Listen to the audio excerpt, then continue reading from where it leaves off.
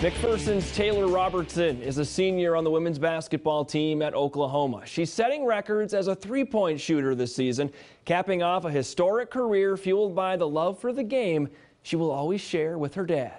Taylor Robertson hits her first three-pointer. If Taylor Robertson is in a gym, She's in her range for a three point shot. This season, she leads the Big 12 with over 60 made threes through 14 games, averaging four makes per contest. Yeah, I shoot a ton. I probably get up about 300 a day, 300 shots a day, 300 makes. Taylor Robertson launching.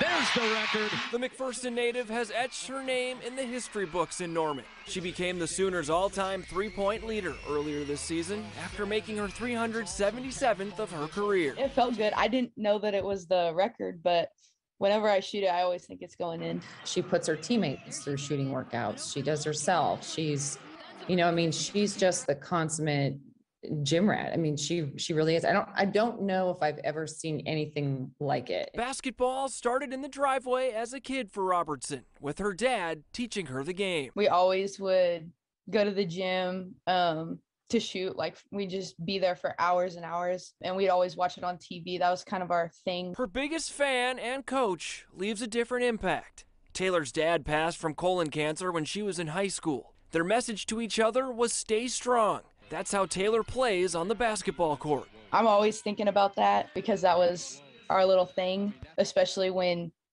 um, adversity hits, um, when we're on the court and things aren't going so well, just to stay strong and weather the storm and bounce back.